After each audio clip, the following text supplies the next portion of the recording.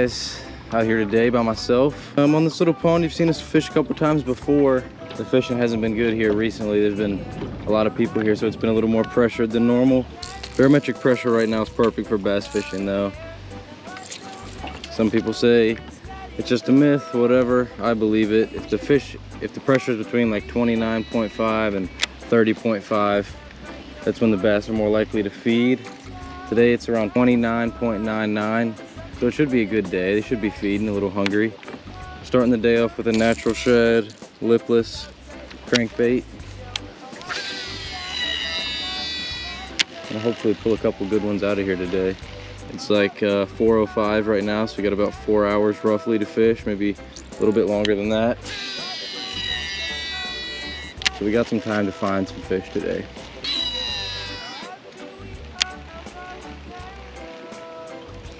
There he is, guys. Good one. Good fish. oh, came off right at the boat. It's okay though. It's okay. That fish was a little shallow. Hey, decent fish. Glad we're getting a little bite going.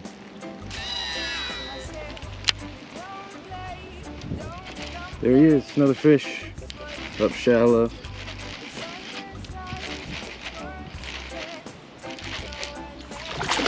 Another one came off at the boat. What is going on with that? I'm missing hook set after hook set or something. They're definitely shallow though.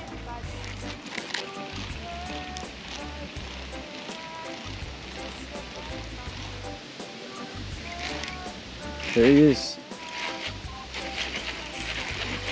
Another fish, fellas. Skinny bass. Right back down.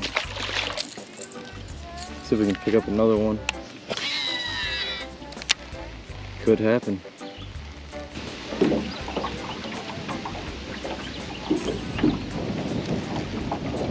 Oh, there he is. Oh, boys. This could be a good one right here. Oh, it's, it's not a good one. Oh, he was just coming at me sideways. That was crazy. Another bass, though.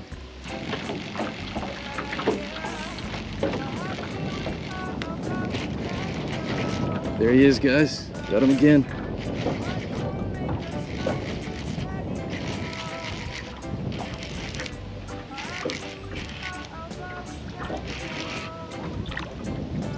Oh, that's a pickerel right there, fellas.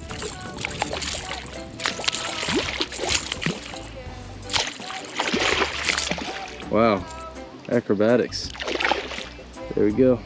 Definitely after you catch a fish like that, you want to check your line because uh, teeth are pretty sharp. You don't want them to have nicked it in any way to where you can miss a fish on your next hook set and break off. There he is. Right by the boat and the lipless yet again. Oh, tore my finger up with that hook.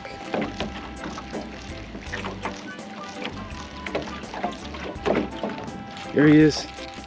A little bit better one. Little nice one pounder, one and a half pounder. Back she goes.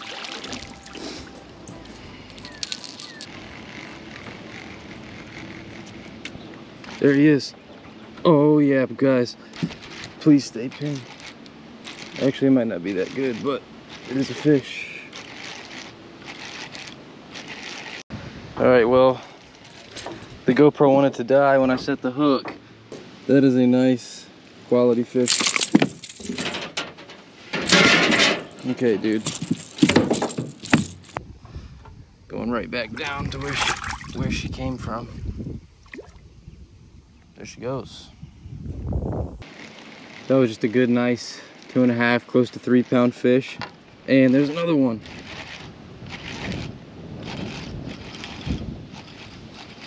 There we go. Finally getting on a couple better ones.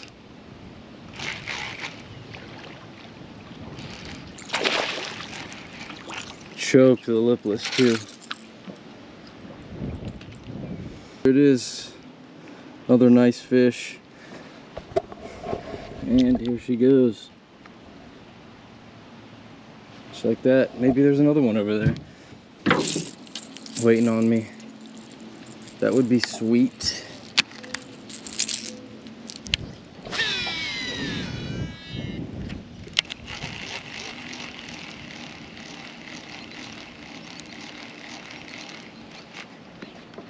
There's another one. Yeah, this one seems a little bit better too. Oh yeah. Gonna flip him. Oh! That's a good four pounder right there. Close to it. Checking the line. That's uh, three really solid fish from the same little area. My thumb is absolutely shredded right now. All right, we'll update. Gus is making the trip out here. His golf tournament is over. And he is coming out here to try to get on a pig today. I am going to do my best to put him on his PB. That's what we need to do today. I'm gonna let him work the motor. He's not gonna want to, but there he is again. Other one, boys. This could be a better one. Oh, another giant pickerel. Let's get a little phone shot of this guy. Look at that, boys. Just a nice, giant pickerel right there. Really don't want to mess with him too much. It's a nice pickerel, though. I'm not sure what citation is. This could be close, but it's definitely a decent-sized fish. I'm going to try to get him unhooked and get him back on his way. All right, there he is, boys. Go putting him back. There he goes. Boys, I'm having a... As soon as... Oh, my goodness. I got lit up, boys, as soon as it hit the water. Now she's to swim sideways the rest of the way, but it might wake up the bass, give him a good wake-up call. Oh, look, there was a swirl right there, so maybe, just maybe. But I'm having a great old time out here today. All right, guys, so here's what we're to do. I'm to um, cut the GoPro and go pick up Gus, and I'll let him throw on the chesty whenever he gets out here. But we're to leave these fish biting over here so that Maybe a nice big one will bite for him. Do you know why Weatherman are called Weatherman? Paul Lemon joke there for you, for everybody who knows of him, which is pretty much everybody in this earth because he talks to every single person he comes in contact with and tells them his whole life story. Boogie Wonderland. Bruh, bruh, bruh. Dance. Oh, can't even get this rattle trap out the water. Nice. Finally got out here and caught one. I don't even care if this is my only fish of the day. Just the fact that I caught one, I'm happy with. I can't get it out of the slip. Oh, there we go. The fact that we caught one, and he's not even, he's not a bad one either. He's a decent sized bass. He does have a little bit of scarring on his left side, though. Little football to end the day, and the only one of the day. Nice to catch one at least. It's been a grind for that one fish, and I just wiped my hands on my good golf I'm good golf close. Cast it back where you saw them. They've been pulled up together. I don't even know. Somewhere out in the middle.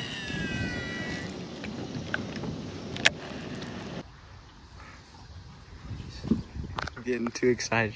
I gotta calm down. Bro.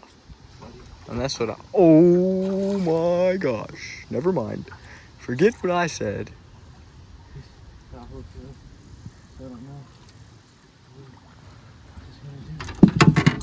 How is this gonna work? We don't know, but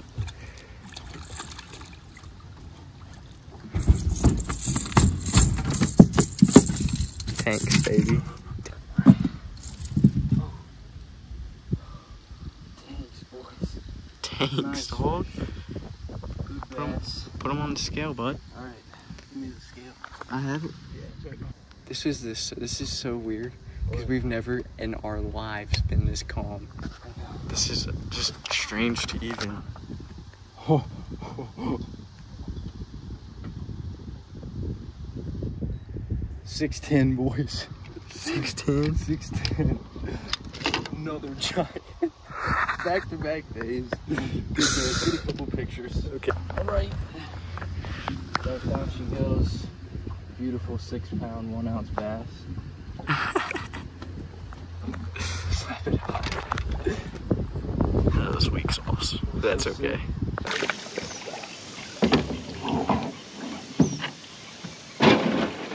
You have the keys? For today's video, coming from 1 Timothy chapter 4, verse 12, it says, Don't let anyone look down on you because of your youth, but set an example for the believers in speech, in conduct, in love, in faith, and in purity.